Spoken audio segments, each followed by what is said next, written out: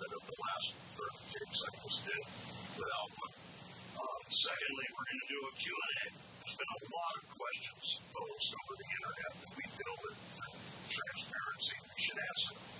Number one, why are you always smoking on set? Asked by Joe Campbell. Well, when I'm having a cigarette on set, is what I'm doing is paying tribute to Murrow Cronkite, the titans that came before me. If you remember um, or seen replays of the Kennedy assassination or the moon landing, all those fuckers had a giant ashtray overflowing always smoking. So I do this to pay tribute to those titans who made it possible for me. The next question is from Bobby's mother. I don't know if that's a screen name or anyway. Where did we get the name Five Dollar Bobby Films? Asks. It's a great question. It takes a little bit of explaining. Years ago, I started working for a bar band, a club band that I love very much. Love these guys. Love working for them, but I knew my days were numbered. So I hired an apprentice, Bobby Joe. That's his full name, by the way. You know, he doesn't go by that anymore, but anyway. Um, the one night I let him take charge and run it. Well, this tape will show what happened far better than my explanation. Audio. Audio.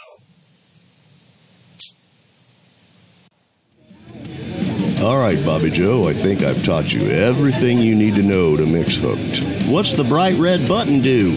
Bobby Joe, never press the red button. You mean this button? I said don't. No!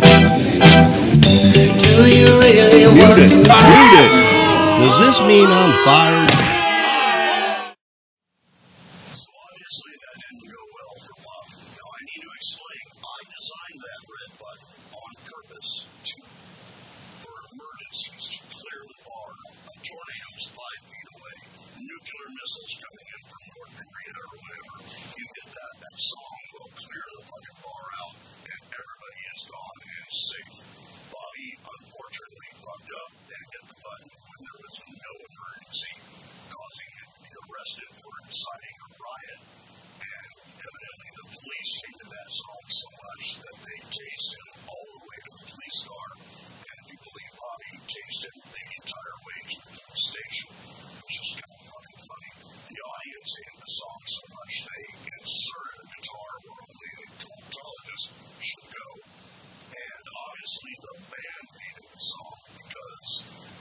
Judge sentenced Bobby two months and a five dollar bail.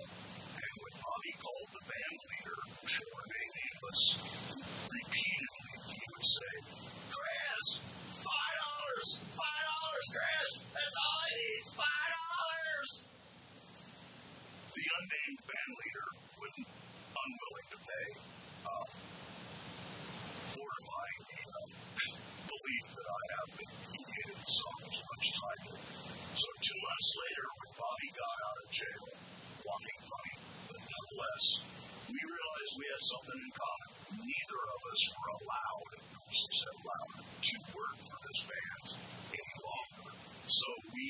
up and formed a company called Five Dollar Bobby Films.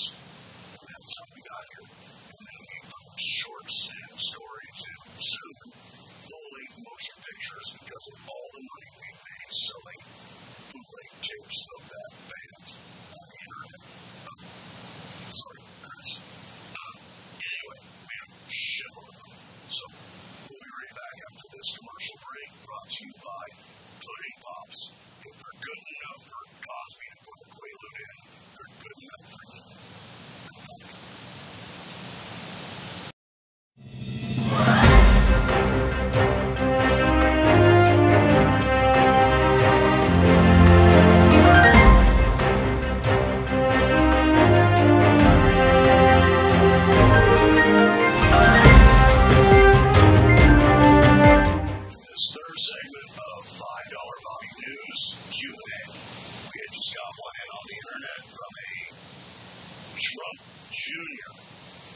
Is it that Bobby is not in prison for life or never seriously hurt during these disasters? Okay, um, Bobby has a supernatural gift to attract disaster around him, not on him. There's a major difference. He is the tornado that strikes the trailer park. He is the lightning bolt that hits your buddy's golf club, not his. Mexico City had a giant earthquake and every fucking building collapsed, Bobby's house would be the only one left standing. So that's why I do not practice social distancing for Bobby, because you gotta stay within 10 feet of that fucker. Because otherwise, I mean, you're dead.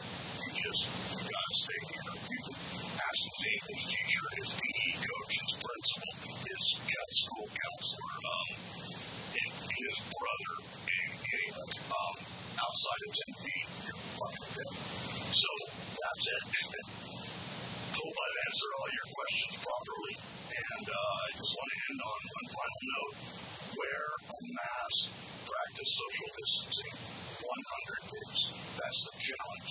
100 days. Even if your only reason for doing it is so you can laugh at all the fuckers when it doesn't work. And then you can just go, ah, you know, make fun of them and everything. But I'm telling you, it's gonna, it's gonna make a difference. But you know, it, if it makes you feel better to believe that it's not to help and you get to laugh at people, then man, still just wear a fucking mask. Get the vaccine. I'm so tired of this shit. You gotta be too.